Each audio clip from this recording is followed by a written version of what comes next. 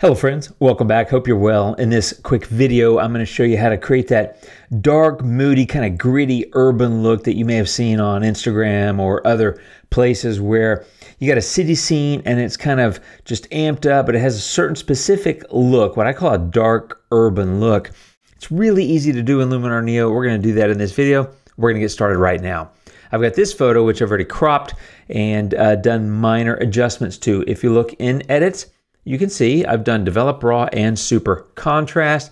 But what I want to do is create the look that is dark and moody and urban. And if you're not sure what I mean by that, that's what I'm talking about. This look right here, which I think looks super cool, uh, but I get questions about, you know, how do you do these kind of things? I'm going to show you how you do that.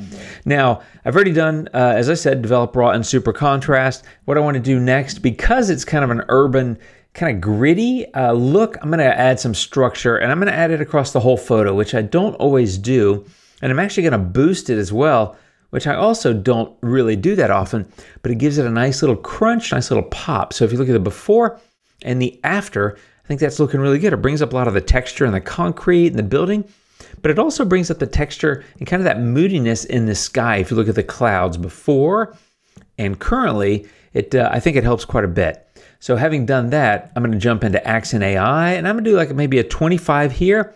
And then I'm going to do another 20, 23 in the sky. And so if you look at the before and the after, before and after Accent AI and the Sky Enhancer AI are great at giving you that extra little bit of pop.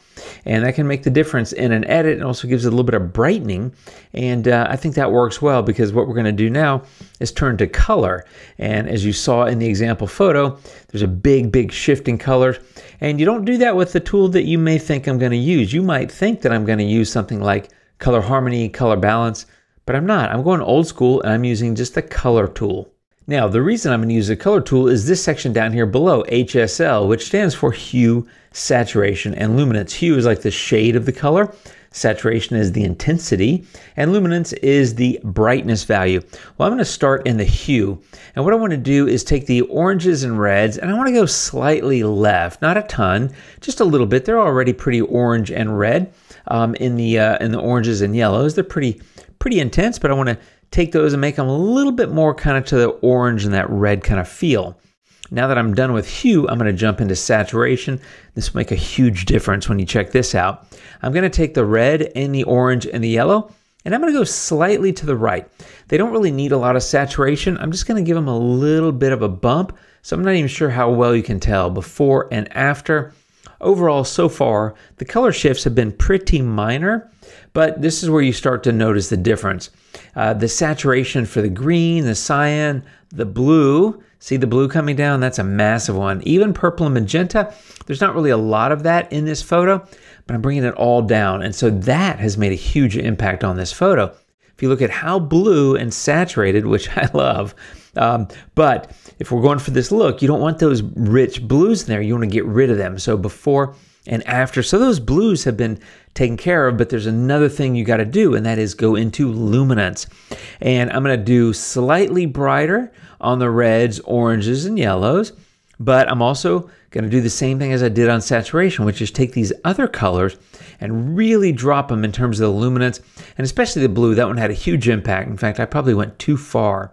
But if you look at that now, before and after, with this HSL moves I've made before and after, before and after, it's really the primary colors that are there are the warm colors, the oranges, the reds, the yellows, and everything else is desaturated and darker, and it's creating that color contrast and that mood that I'm talking about. So one more time, before and after. Now, that's the color move that we make, but there's still a few other things you got to do to really wrap up a photo like this.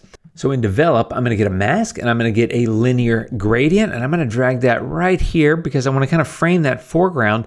It's just a little bit too dark, uh, excuse me, too bright. And what I want to do is darken it. So something about like that. But you'll notice that's also making this little sign where it says US Route 66 on the ground.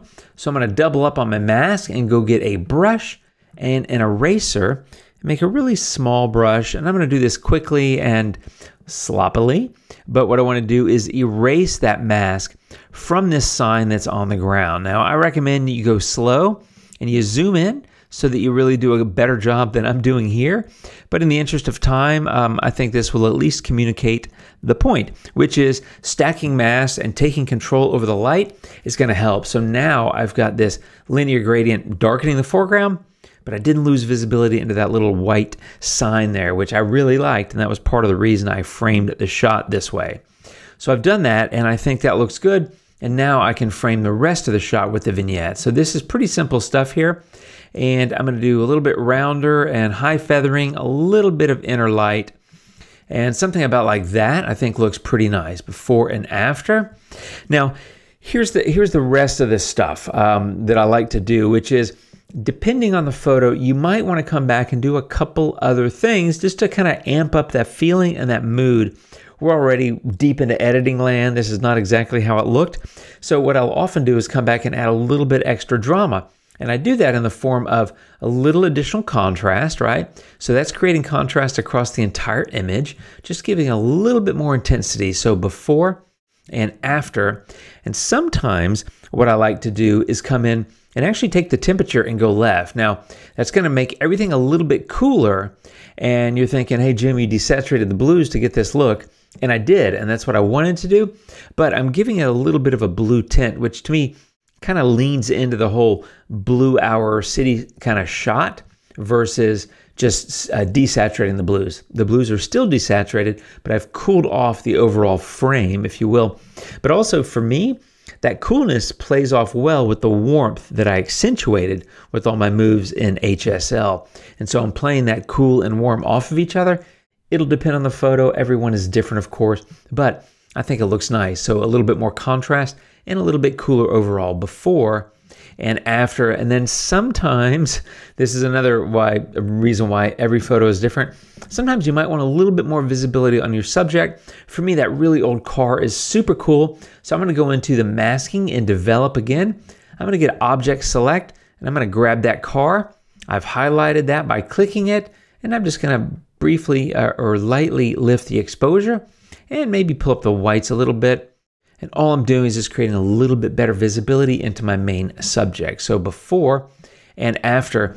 And that, my friends, is how I went about creating that look from that photo, right? So lots of color, lots of blue, lots of different colors as well. Now I've got that desaturated urban black, that moody urban look. I don't have any idea what it's called, but that look is quick and easy to make in Luminar Neo just by playing with HSL. And that's how I did this one, and that's how you can do it as well. One more time, before and after. That's it, my friends. Thanks for watching. I hope it helps. Leave any comments down below, and don't forget to get my free Luminar editing ebook at the link below as well. I'll see you next time, friends. You guys take care, and until then, adios.